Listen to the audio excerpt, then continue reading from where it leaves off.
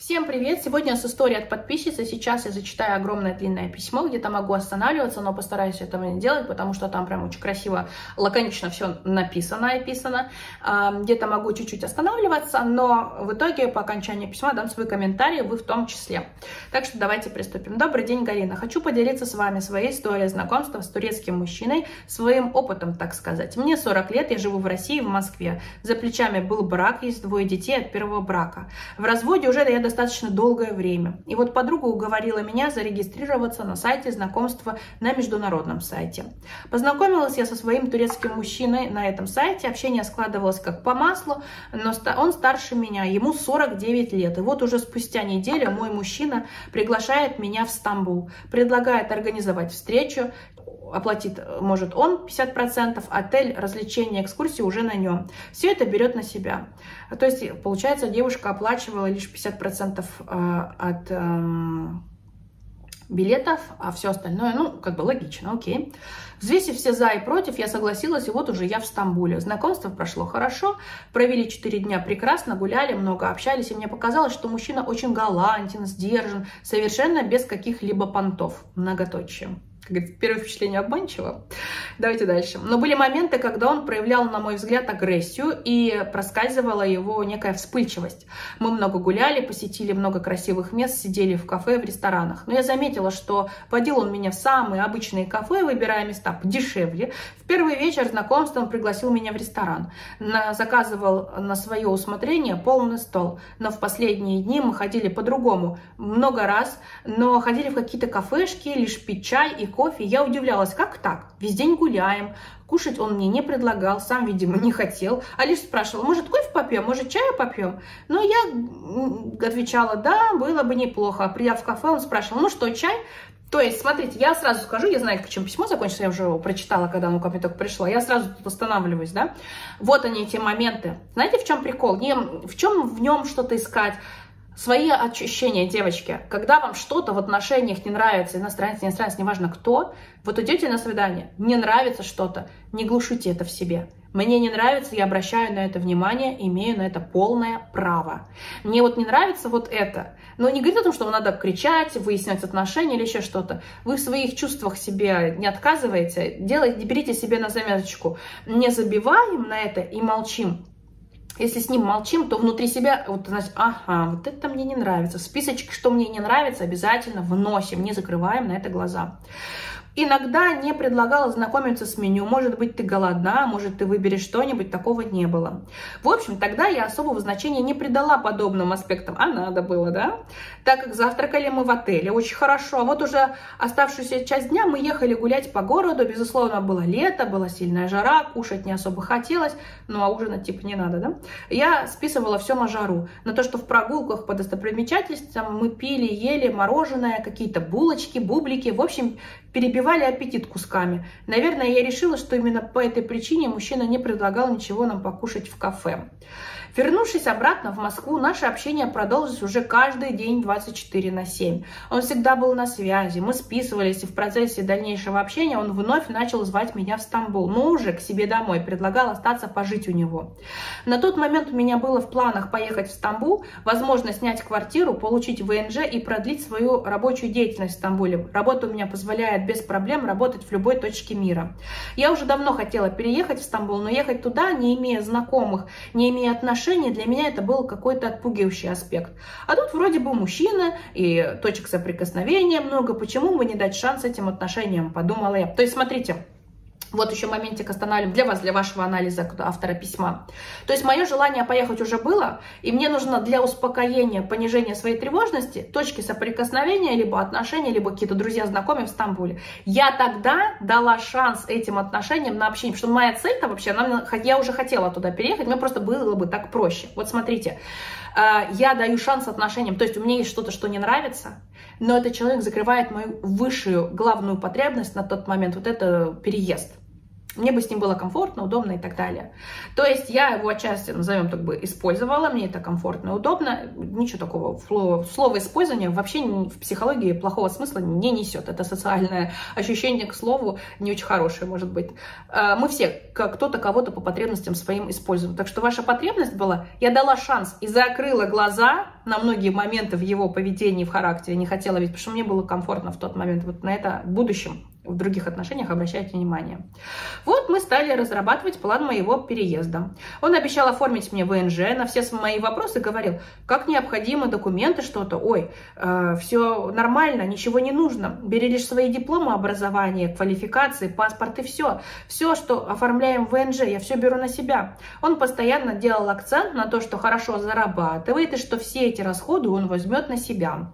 И чтобы я привыкла к тому, что у меня теперь есть плечо, есть турецкий мужчина, мужчина, а я с ним как за каменной стеной.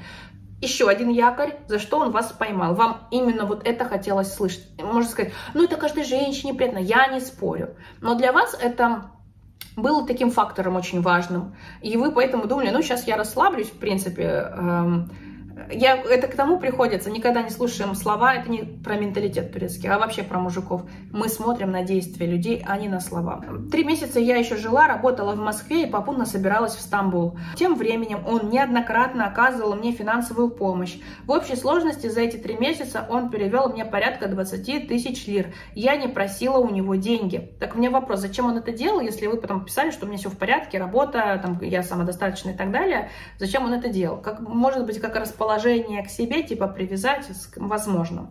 Он так красиво пел, обещал, показал себя с наилучшей стороны, показывал стабильность, надежность свою. У меня были небольшие э, задолженности по кредиту, и узнав об этом факте, он предложил мне помощь, сказав, что тогда, когда ты приедешь в Стамбул, мы закроем твою карту.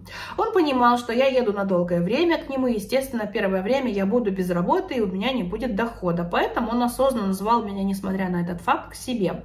Каждый раз, когда у меня возникали какие-либо какого рода сомнения. Я выходила на обсуждение, он твердо заявлял, я мужчина, привыкаю, турецкий мужчина берет обязанности за женщину, обеспечивает, берет ее проблемы на себя и решает их. Если мужчина говорит, что хочет, чтобы женщина стала его женой, абсолютно верно, воспитанный культурный мужчина, да, очень многих семьях вот их так учат, совершенно, но не у всех, поверьте, вам может и не повести, а, и как вы дальше в письме сейчас узнаете, у каждого свой уровень и понимание вот этого ответственности, уровня какого-то, который женщине нужно давать.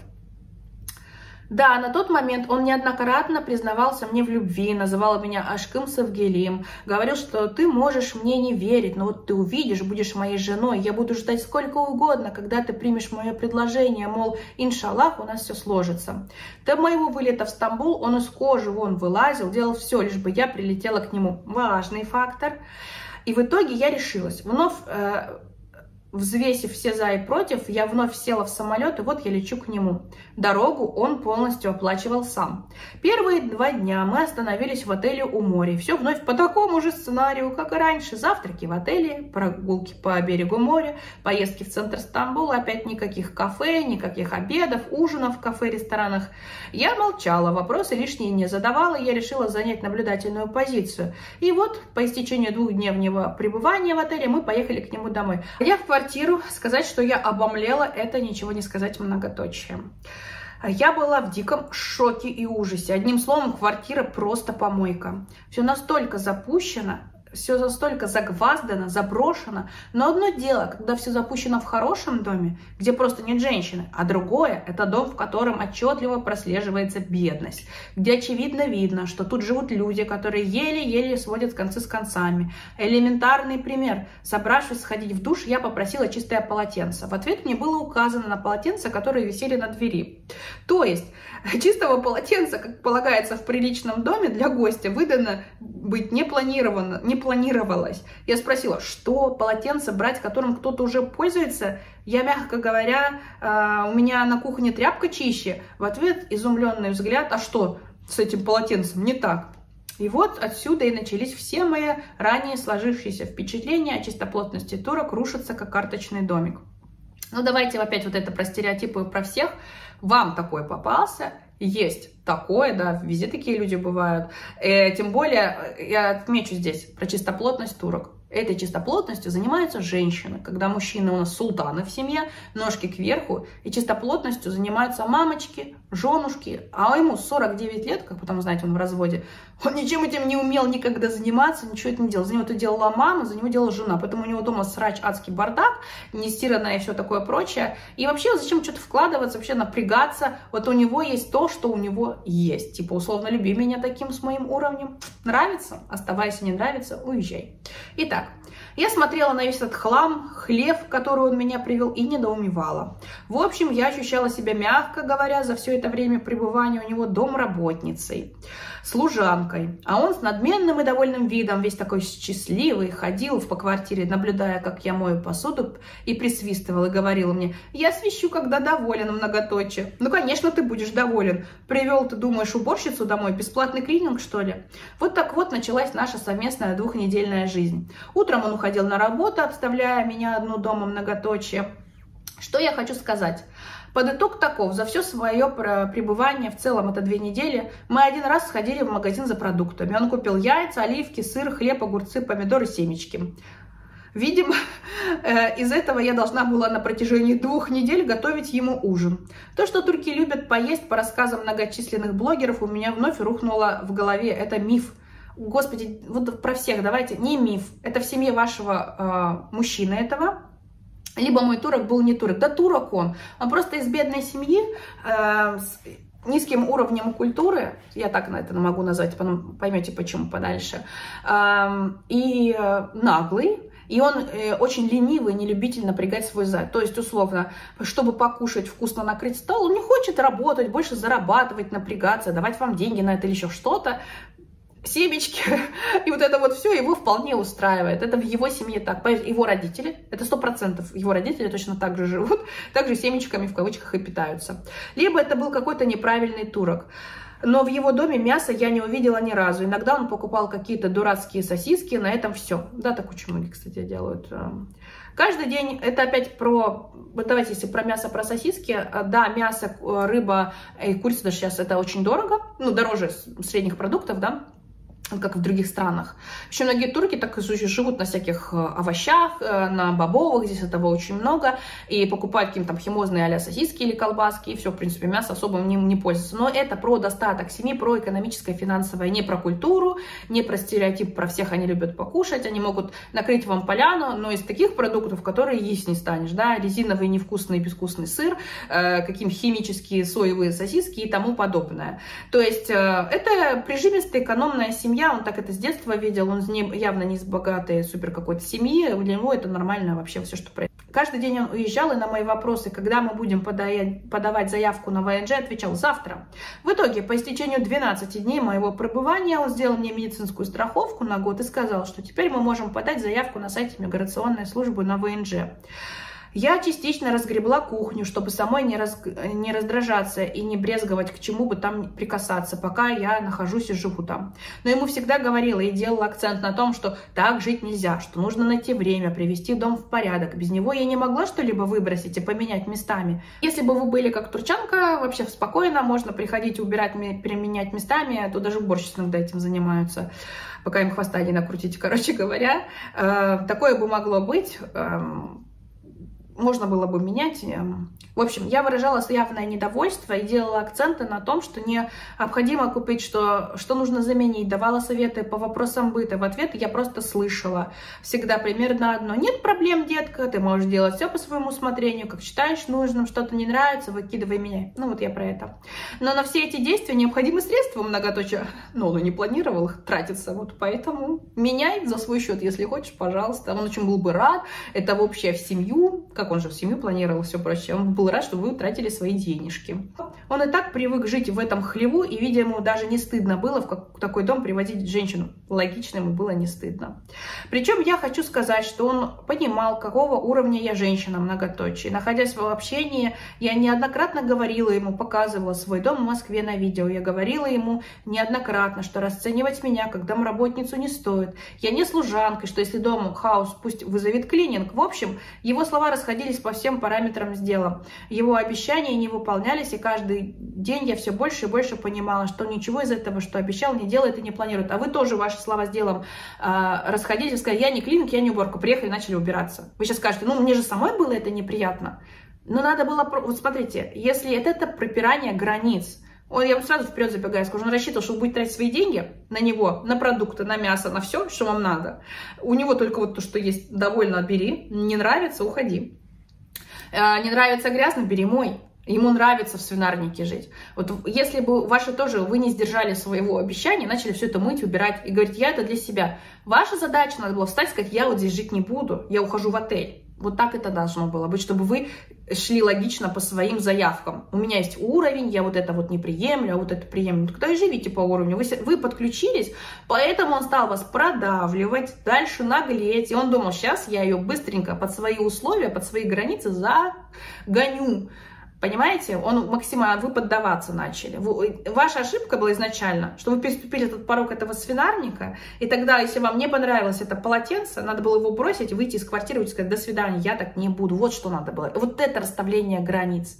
Да, у него там бедность, нищета, хлеб, он в этом жил, рос, для него окей, это уже ваш вопрос, нравится вам это, принимаете вы это или нет. Вы начали там типа наводить порядки, типа гнездо семейное, ведь вообще не надо было даже этим заниматься. Ну, Короче говоря, мы начали спорить, доходило до того, что он на меня орал. Он очень неадекватно себя вел. Если он видел или слышал от меня что-то, что ему уже э, заочно не нравилось, или бы не понравилось, он переходил на крик. После сделанного мной ему замечаний, что на меня нельзя кричать, мол, все обсуждай спокойно, чем ты, зачем ты на меня кричишь. Он сразу же, как ребенок, переводил стрелки на меня и говорил, что я женщина, которая с ним спорит, ему не доверяет, что я вывожу его специально и бешу его.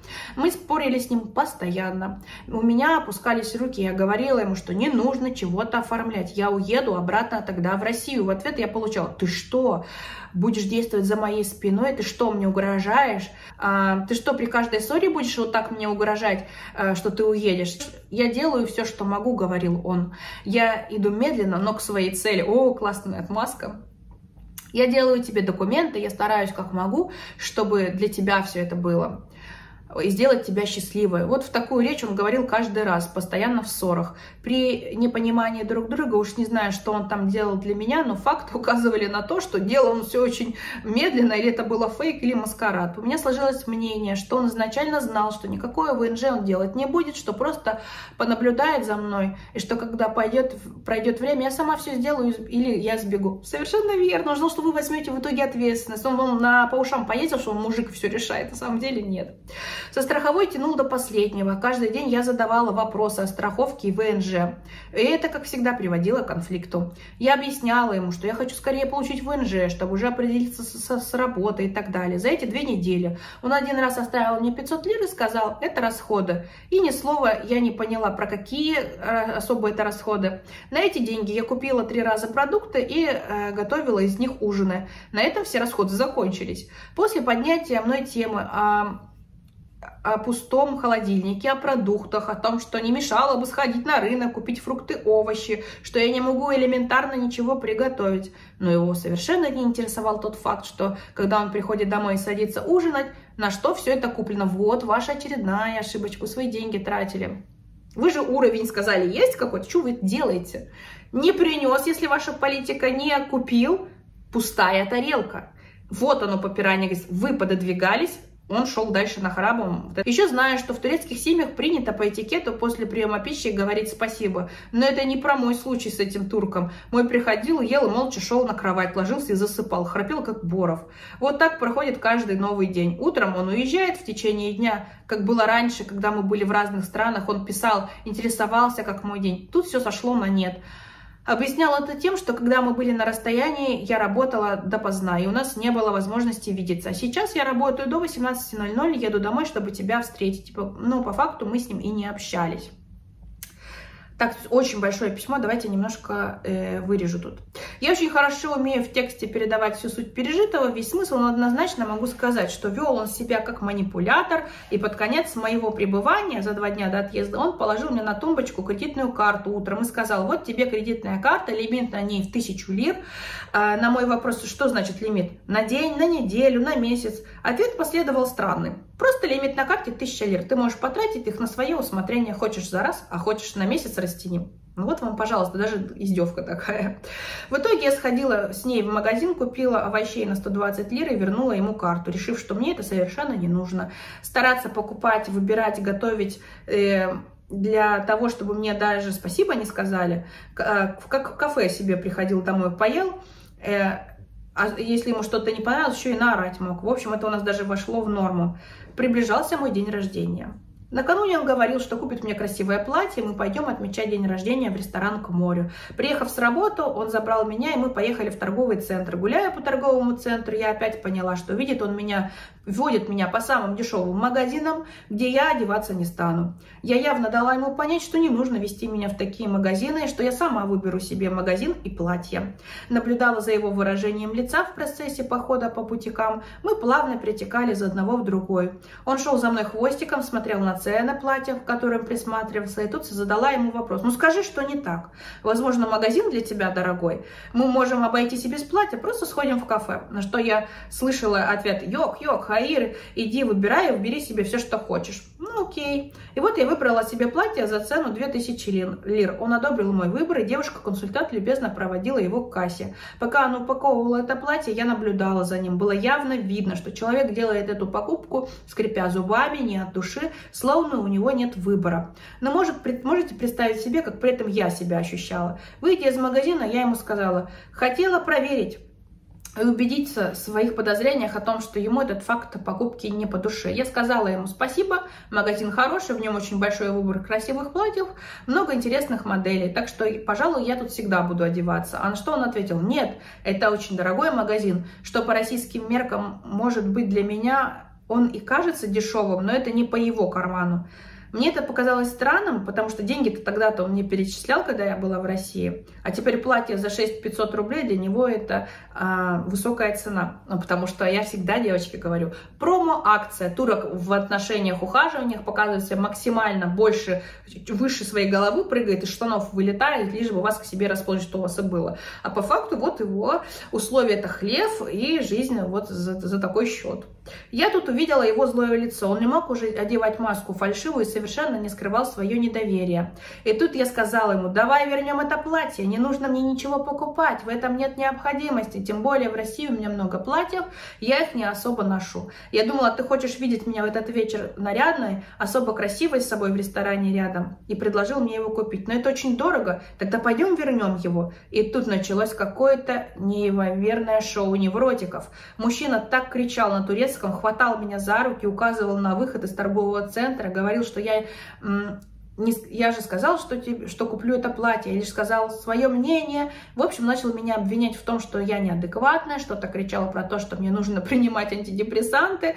А, я сейчас скажу, вы его максимально унизили, да, он пытался играть в мачо богатого и так далее. Вы, его, вы ему наступали на самое больное, на мужское достоинство, вот это все, поэтому он так агрессивно реагировал. А, покорная, не спрашивающая, затюканная Каем Турчанкова, если бы была без своего мнения э, и не меркантильная, она бы брала то, что есть. Она бы готовила из семечек хлеба и не спрашивала про мясо. Ему такая, ему даже в Турцию бабу-то трудно было бы найти, тем более. Он на то и надеялся, что вы будете вот этой, как в интернете, у нас очень часто стереотип, а, славянская женщина, а, как у нас девочки любят хвастаться, мне и с милым рай в шалаше, я все, я его разделяю, все взгоды, невзгоды, я с ним рядом, не предам. Вот, пожалуйста, вот, он так, вот такую себе ищет. Ну, короче, долго искать ему придется. Короче, в машине мы ехали, что-то ругались через переводчик. Я настолько была унижена, оскорблена, что понимала, я не приму это платье. И более того, я не пойду уже с ним ни в какой ресторан. Ой, девочки, тут очень-очень еще много, а время у нас уже заканчивается. Короче говоря, я вам вкратце расскажу про платье. Еще одна история будет про кольцо. Он в итоге пытался с ней мириться, он сдал это потом в итоге платье, притащил тортик, букет, э, вот так она встретила день рождения и так далее. Короче, мы молчали, обстановка, мягко говоря, вещала о том, что женщина уплывает из-под его носа, видимо, он реально понял, что билет я в этот раз опять менять не буду, я решительно уеду. Про билеты. За эти две недели это был третий билет, который был куплен мной, два предыдущих сгорели, потому что каждый раз, когда я бралась за чемодан, он не отпускал меня и каким-то образом разруливал ситуацию ситуацию в пользу того, чтобы я осталась, но не в этот раз. Утром он предложил мне прогуляться перед отъездом в аэропорт к морю. Мы загрузили чемоданы и отправились на побережье. Немного погуляв, он позвал меня в кафе. Мне уже нечего было терять, я с девкой сказала, что опять чай пить попьем? Пойдем. А, в кафе мне было предложено меню. Меня это, вот видите, граница. Вот не надо было молчать, я вот про это вам говорила. Проблема в этом. Отстраиваем границы. С издевкой сказали, границу, что опять чай пойдем пить? В кафе мне уже предложили еду. Вот как это делается. Меня это очень удивило. Я выбрала, что хочу, и мы приступили к обеду. Я видела его растерянное лицо, он не мог скрыть того факта, что переживает. Он понимал, что я улечу уже больше никогда к нему не вернусь. За обедом он задал мне вопрос, скажи, ты сейчас уедешь, и на этом все? Я ответила, что да. Я разочарована поездкой, в целом у меня плохой осадочек остался. А также упомянула о поступке с платьем, что у нас так не принято, что для женщин это унизительно, что любая женщина после того, как э, не оденет платье, Э, и никуда не пойдет после такого отношения к себе. Что смысл не в том, что, как, что ты купил подарок или нет, а в том, каким образом ты это сделал. И тут он сказал, что я готовил для тебя подарок, но ты выписала меня с этим платьем, и я решил отменить подарок. Я хотел тебе купить кольцо многоточие. Классика. Я не сдержала смеха, в открыто ему сказала, да, но кто к тебе мешает его тогда сейчас купить? В ответ он начал говорить что-то по типу, ну, в следующий раз ты приедешь, мы выберем тебе золото. А я не будь дурой и ляпнула, день рождения ж прошел, ты купил платье, так сдал его. Давай тогда следующий подарок. Он, ну мы сейчас же едем тогда покупать тебе кольцо. Приехали в торговый центр, он зашел и завел меня в ювелирный, что-то обсуждая с консультантом, он начал предлагать мне кольца на выбор. Я так понимаю, что по целевому эм, сегменту он консультировался в продавцом, и тот давал ему определенные суммы э, стоимости кольца. Все кольца были немного большеваты на мой палец, а так всегда, кстати. Он сказал мне, ты выбери любое, его изготовят по твой размер и в течение двух-трех э, дней доставят. Я вновь не сдержала смех и сказала, хей-хей, э, нет-нет-нет, я найду кольцо по своему размеру прямо сейчас в магазине. Повела его в другой магазин. Зайдя в очередной магазин, мы по той же схеме начали мерить, выбирать кольца. И тут он вновь сказал, ну ты выбери, а, но мы его сегодня не можем купить. Нужно изготовить подходящий размер, и доставка будет в течение двух-четырех дней. Тут я не выдержала и написала через Google переводчик. Могу ли я сейчас выбрать кольцо, и если размер меня устроит, то забрать его сразу. Это надо было видеть лицо моего турка и выражение продавца. Продавец ответил, Эвет, конечно, можете. Тогда я выбрала кольцо, положила продавцу и сказала, мы берем это. И мой турок оплатил это кольцо. И тут я увидела дубль 2, повторение, история с платьем. Э, это был на самом деле фейк, как я поняла. Он не хотел покупать это кольцо и понимать, и понимая, что я могу соскочить с крючка, и тем более я уже улетаю, понятное дело, по какой-то причине мой отъезд, в общем, не отъезд был, а побег, я понимала, что это была показуха. Наверное, по его плану я должна была выбрать кольцо. Он якобы сделает заказ, когда я улечу, но не вышло. я решила ткнуть его в это же вранье лицом и показать, что я все понимаю, я не дура. Он купил три коробки сладостей, кофе и сказал, что передает это детям. А, проводил меня в аэропорт, засунул мне в паспорт 200 лир, лир и помахал рукой. Мне вопрос, зачем в России лиры и 200 лир это 700 рублей? 600, даже меньше 700 где-то.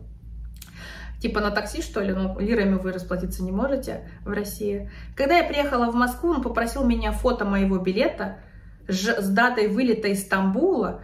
Он э, нужен ему для того, чтобы вернуть страховку. Бабки еще решил вернуть. Молодец прагматичный. После этого я нахожусь в полном недоумении и непонимании до конца, что это такое было. Простите за такой сумбурный рассказ, но рассказываю вкратце из того, что взрезалось в памяти. Вот уже как два дня мы не общаемся, и не надо. Выше я забыла упомянуть о том факте, что познакомил меня со своими родителями. Родители хорошие, был у них красивый чистый дом, его маме я понравилась, она приглашала родственников, ужин был, со мной все познакомились. Также я познакомилась с его детьми, 12-14 лет, они живут с его бывшей женой, он в разводе. Он приходил один раз к нам, и мы провели вечер, а, оно оно проходи, а, они приходили один раз, и мы вместе провели вечер. Деткам, его э, родителям я подарила подарки. Вот и вся история э, о том, как турки любят пускать пыль в глаза. А самое, что запутанное, на мой взгляд, я так и не поняла, зачем мой турок меня туда так упорно звал и так упорно не отпускал. Помогите разобраться, что мне делать. На что мне подсказывает, что с ним нужно отношения завязывать. Многоточие, у вас еще какие-то сомнения есть? Или я что-то не понимаю в турецких мужчинах. Это мой первый опыт отношений с турком. Сочувствую, что опыт у вас не супер э, удачный получился, да, такое бывает.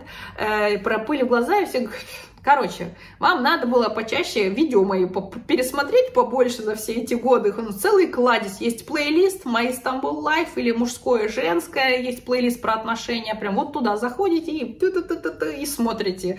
Истории, миллионы, маленькая вагон и маленькая тележка.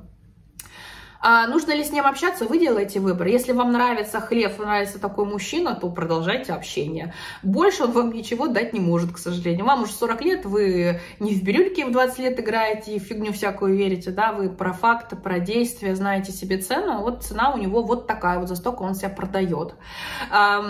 Нравится вам или нет, выбирайте сами. Выше своей головы он прыгнуть не может. Вы увидели по факту, что у него есть. Что это было, его я вам просто вкратце подытожу. Он надеялся себе, найти себе жертвенную, стандартную славянскую жену, которая с ним э, пойдет в омут, в брод, с милым рай в шалаше, она все будет закрывать глаза, он ей будет по ушам ездить, какой он мужик. По факту у нас таких очень много девочек, которые выходят замуж, особенно никогда 20 лет, они что-то там выпендриваться могут, да, когда уже постарше, с детьми, например, от первого брака, они приезжают, и здесь а, турецкая действительность у них оказывается не такая, какая была по интернету или при встречах, при свиданиях. А, меньше социальный достаток, нет помощи мужа, там проблемы с родственником, или он ее не защищает и так далее, всякие моменты всплывают. Тут вопрос не к нему, что это было, а к вам. Если вам это устраивает, вы остаетесь. Если не устраивает, вы это прекращаете общение. Все, точка. Что тут размышлять-то? Что это было? Вот еще понимаете, в чем дело? Я могу сказать, какая проблема у вас была. Вы себя как бы несете на определенном уровне, о котором заявляете, но при этом вы Ему шли на уступки, квартиру вы там отмывали, неважно, какое объяснение для себя, не для себя. Можно вообще туда было не заходить, раз вам это сразу не понравилось. Игры с ним вот в эти входили. Он попирал ваши личные границы, вы чуть-чуть уступали. Поэтому эта тягомотина шла. Если бы вы были жестко, резко со своими границами сразу, он бы побился вот в эти стены ваши и сам бы отстал. Вы ему давали шанс весить вам лапшу на уши, потому что вы ее отчасти принимали. Поэтому он вот это все растягивал, типа был старался хорошим и так далее. Он думал, что вы еще до компромисса дойдете, где-то ему уступите, потому что в мелочах где-то по шагам ему уступали. Вот в чем дело. Почему он это продолжал и не сразу это все закончилась история. И сейчас даже, когда вы уехали после всей этой жести, вы мне сами пишете, ой, мне кажется, что там надо ему все-таки отношения заканчивать. Вы еще сомневаетесь? Да, блин, заканчивайте. Вам это не нравится, заканчивайте. Все, приехали. Все просто. О чем тут еще думать? Вот такая история. Девочки, пишите ваши комментарии. Я сильно много комментариев давать не могу. Видео и так очень огромное получилось, на самое долгое у меня на канале. Я думаю, что женщине будет очень полезно почитать ваши отзывы в комментариях. В общем, не расстраивайтесь. Я вам больше скажу, это не тот просто турок. Эм, он классно себя прорекламировал. Посмотрите побольше моих видео на канале про отношения. Вы поймете, что это было. У меня про это все уже есть объяснение.